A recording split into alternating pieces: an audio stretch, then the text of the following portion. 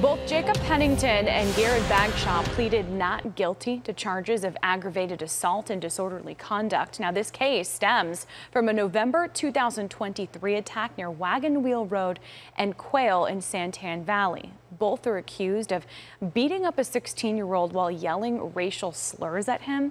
Pennington is also accused of taking off his belt and hitting the victim with it. Both are due back in Pinal County Court on March 4th.